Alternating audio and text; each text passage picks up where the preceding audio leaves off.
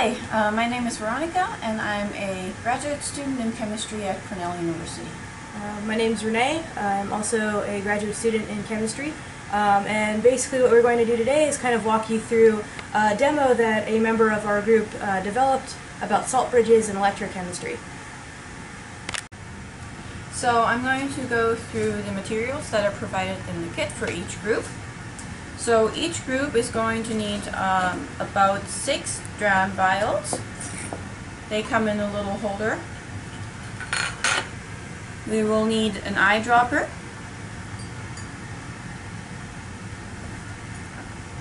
Uh, a multimeter with some alligator clips. And some copper wire.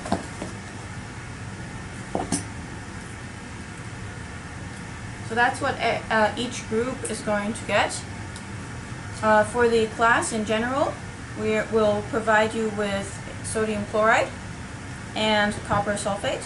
These will come pre-measured as solids in these containers and the teachers only have to add water to this. Uh, you will need to provide uh, two beakers to just um, hold the solutions. Furthermore, we'll provide you with some aluminum foil, sponges,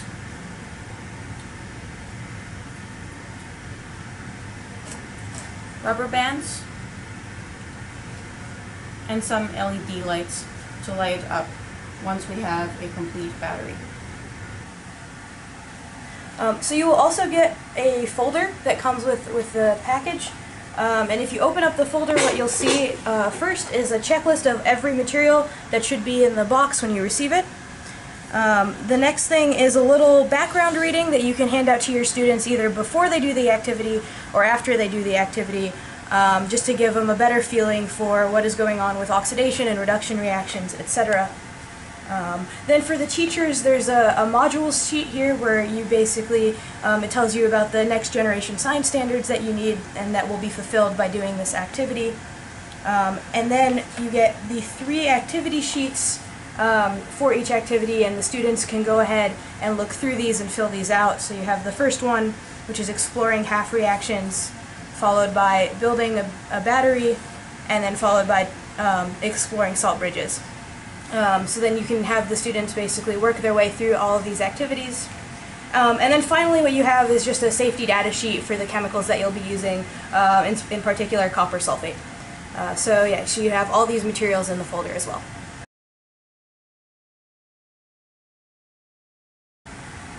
Okay, so the, the first activity is just for the students to get a, a feeling for half reactions um, by taking some aluminum and a solution of copper sulfate and trying to uh, observe the reactivity between the copper sulfate and the aluminum um, foil. Uh, so have a small piece of aluminum foil, and I think it's, it's a good idea to have your students fold the aluminum in half, um, or, or um, in fourths if you want. And so when you have your aluminum, you take your solution of copper sulfate, and the first things this, the student should do is, is drop a little bit of your copper sulfate solution um, onto your aluminum foil, and what you should notice is that there is nothing that's really going on. Um, and this is because uh, you need some sort of catalyst to, to activate the reaction. Um, and so the catalyst that we're using is a solution of sodium chloride. And so once you add the sodium chloride to the aluminum foil with your copper sulfate, um, you can have your students mix it up a little bit, and then you'll start to see a reaction occur if you look closely at the aluminum. Um, and so what's going on here is that the, the copper sulfate is actually going through a redox half reaction um, and then the aluminum is actually going through the other half reaction where the aluminum is now giving up electrons and getting oxidized um, and the copper is now grabbing those electrons and getting reduced to form copper solid. And so if you have the students work through this sheet here, um, what you can see, um, you can have them basically write down their observations before they add the sodium chloride and after, um, and after they add the sodium chloride. Um, and then it gives them kind of an idea of what's going on by looking at the aluminum, which once you add the sodium chloride, you get the aluminum to lose electrons and then the copper to gain electrons and get reduced.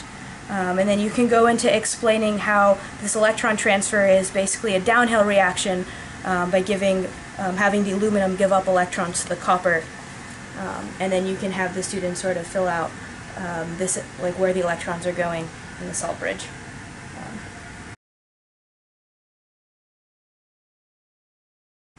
So after measuring the uh, current, your students going are going to have to measure the voltage as well. So for that, you'll have to change the setting from 20 M to 20 at DCV. And the concept is going to be the same. You'll connect the alligator clips to the aluminum foil and the copper wire. And the voltmeter should show a reading, which it does. So your students are going to note down uh, the numbers that they record into in this table uh, by, and go through every single salt bridge that we have provided. Uh, the sponge, the dry paper towel, the wet paper towel, the rubber band, and lastly, no salt bridge at all.